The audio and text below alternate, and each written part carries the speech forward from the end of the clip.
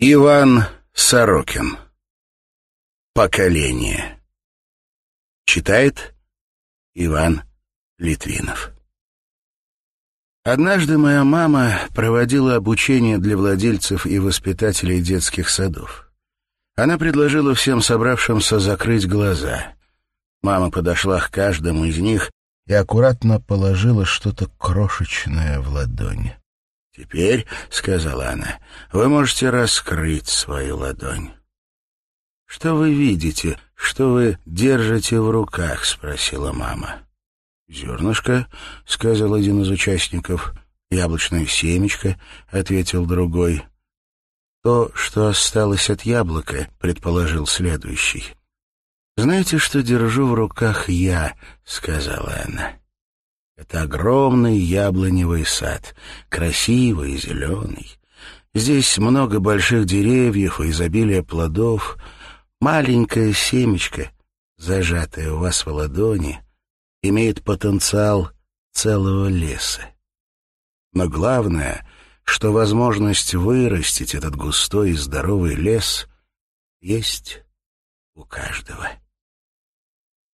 Эту книгу я посвящаю Сорокиной Наталье Юрьевне, моей маме, которая внесла самый большой вклад в мою жизнь, став тем семенем, превратившимся в безграничный яблоневый сад. И застроятся потомками твоими пустыни вековые. Ты восстановишь основания многих поколений, и будут называть тебя восстановителем развалин, возобновителем путей для населения.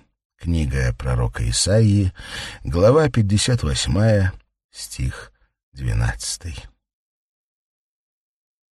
Предисловие. Осенью 2019 года я отправился в экспедицию в Папуа-Новую Гвинею, чтобы подняться на высочайший вулкан Австралии и Океании Гилуве. Он входит в особую программу «Семь вулканов». Это коллекция восхождений на самые высокие вулканы семи континентов планеты. Горы не бывают простыми.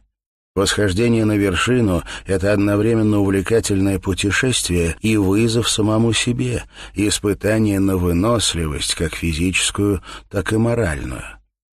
Экспедицию на Гелувы мы организовали небольшой командой из Москвы — Прямых рейсов в Папуа-Новую Гвинею из Москвы не существует, поэтому нам предстоял долгий, изматывающий путь на другой конец мира.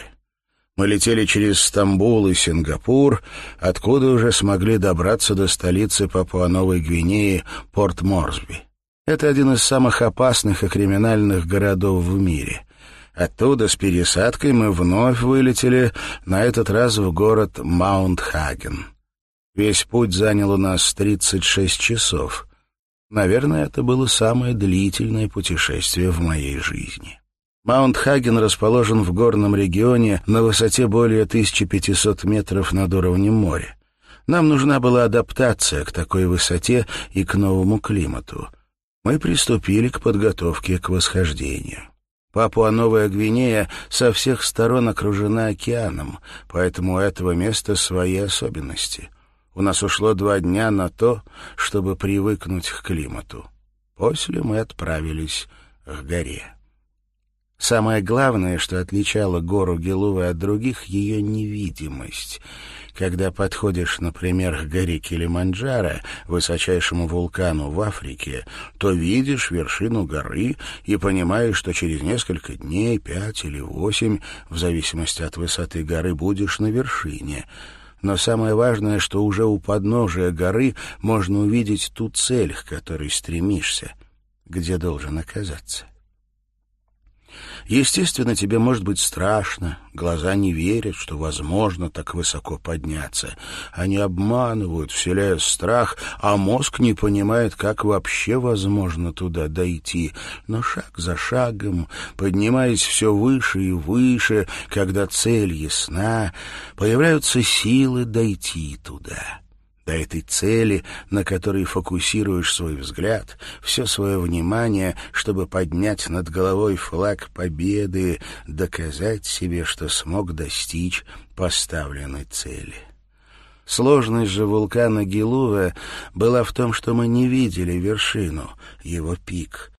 Даже когда готовились к экспедиции в Москве, мы не могли найти изображение этой горы. Итак, мы добрались до труднопроходимых джунглей. Нас сопровождала команда папуасов, местные жители, которые обслуживали нашу экспедицию и обеспечивали нашу безопасность. Это совершенно удивительные люди. Когда мы спрашивали у них направление или время, они отвечали каждый раз одно и то же. Либо говорили идти прямо, либо сообщали, что нам предстоит еще 10-15 минут пути.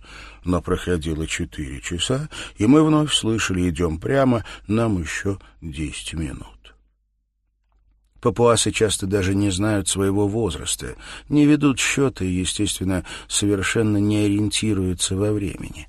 Поэтому каждый раз вместо пяти-десяти минут мы проходили очередные шесть-семь часов до новой точки лагеря. Мы шли через густые непроходимые джунгли, постоянно поднимаясь в гору. Менялся климат и менялось давление. Было тяжело. Но тяжелее всего было потому, что мы не видели самой горы. Этой горы как будто не существовало, но нужно было продолжать куда-то идти. Куда? Неизвестно. Пейзажи постоянно менялись.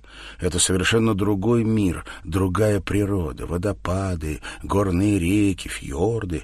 Безумная красота но временами шел такой ливень, что нас практически смывало. Мы шли через заросли папоротников и болота, под солнцем и под проливным дождем, с головной болью, давлением, тошнотой. У некоторых началась горная болезнь.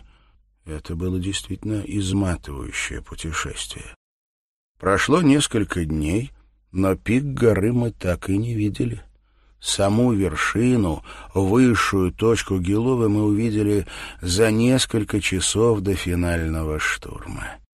Но самое интересное наблюдение я сделал позже. Когда у нас совершенно не осталось сил, мы были полностью истощены, а половина группы уже планировала повернуть назад, перед нами появилась потрясающей красоты гора — вулкан Гелува практически отвесная скала с опасными участками. Мой мозг внушал мне одну идею — у тебя нет сил, это просто невозможно сделать.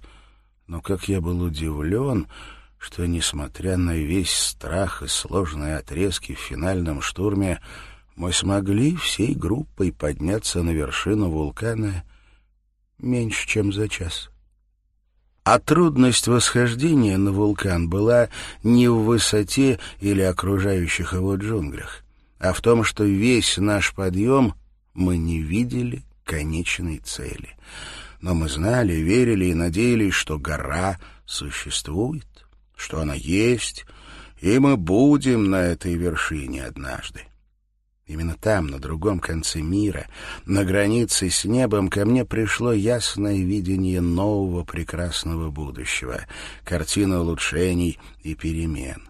Меня переполнило глубокое чувство веры, что это видение возможно осуществить, и уже сегодня к нему можно прикоснуться. Вместе с верой было и четкое понимание того, что необходимо делать и с чего начать. К тому моменту у меня уже была своя семья, за плечами года преподавательской и коучинговой работы, а также успешный проект сети домашних детских садов, работающих более 30 лет. Я понимал, что накопленный мной лично и моей семьей опыт, подтвержденный практикой, должен был быть сохранен. Более того, я понимал, что если бы мы масштабировали наш поход, то смогли бы оказать реальное влияние на современных родителей, потерявшихся в сложной и разрозненной системе образования. В то время моя мама, Наталья Сорокина, так описывала эту ситуацию. Все мы становимся родителями в определенное время и вынуждены быть педагогами для своих детей, наставлять, учить, исправлять, если что не так. Правильно мы это делаем или нет, об этом никто не задумывается. Это никого не волнует. Откуда мы берем эти знания? Нас не учат этому в школе. Добывать знания самостоятельно из книг не каждый на это способен. И потом, что тут неясного? Мы же как-то выросли. Значит, воспитываем так, как это делали наши родители. Отсюда и результаты. Реформа образования — это моя вершина Гелова. Она существует. Я не вижу, сколько мне до нее идти. Я даже не вижу той точки, к которой мне идти. Но однажды мы окажемся на ее вершине. Это точно. Это возможно. Это нам под силу. Главное — начать восхождение. Мое внутреннее ощущение говорит мне, что эта вершина существует, а мы уже в пути. Восхождение началось. Книга, которую вы держите в руках, это не сборник мейнстримовых советов или пособия по выживанию. Нет, это особая философия и практическая инструкция по воспитанию нового поколения людей, которые по-настоящему улучшат нашу страну. Она выбрала в себе опыт десятилетий работы с детьми, глубокое понимание проблем воспитания и образования, в которые погружены современные родители, и главное, что она сформировала образ будущего поколения, поколения лидеров — исследователей, первооткрывателей и просто счастливых людей. И мы с вами можем их воспитать. Иван Сорокин, 2021 год. История Смайл Фиш. От матери к сыну. Я Иван Сорокин, предприниматель, практик и многодетный отец. Каждый день я вижу, как меняются мои дети и как развиваются воспитанники сети наших детских садов «Смайл Фиш». Я наблюдаю за тем, как вложенные в ребенка время, слова и ценности формируют его личность. То, что вас ждет впереди — является не просто рассказом о тонкостях воспитания и возможностях совершенствования образовательной системы. Нет, это история о силе ответственности перед лицом воспитания нового поколения. Поколения сильных, талантливых, целеустремленных и счастливых людей. В основе этой книги результаты исследования эффективности современной системы образования. В ней собраны практические инструменты и решения, которые позволят поднять уровень образования нового поколения детей. В основе каждой описанной в книге технологии и практической рекомендации лежат философия и фундаментальные представления о воспитании личности. Кроме того, я провел исследование исторических фактов и проанализировал, что именно послужило росту нашего государства в период его расцвета, какие люди его строили, кем они были и какими ценностями руководствовались. Все это дает нам ключ к пониманию необходимости перемен и их своевременности. Наша история начинается в 1985 году в Хабаровске, когда был открыт первый домашний детский сад «Смайл Фиш». Его создала Наталья Сорокина, моя мама. Тогда, в конце 1980-х, у нашего детского сада еще не было названия. Никто не собирался развивать его в целую сеть по стране. Просто у одной женщины было желание воспитать своего сына, то есть меня. Детям, рожденным в СССР, полагалось место в детском саду по месту жительства. От предприятия, завода, госучреждения. Чуть ли не в каждом дворе стояли эти большие муниципальные обители советского воспитания. Я был первым ребенком. Неудивительно, что маме хотелось быть как можно ближе ко мне. Поэтому она попробовала не просто отдать меня в детский сад, но и самой устроиться туда на работу. Дело в том, что моя мама всегда любила детей. Как-то вспоминая свое детство, она рассказывала, что ее всегда окружали малыши. Это был мой мир. В детском саду в пять-шесть лет я придумывала сказки, раздавала роли. При этом мои ровесники слушались меня. Я умела гасить конфликты и делать так, чтобы все были довольны.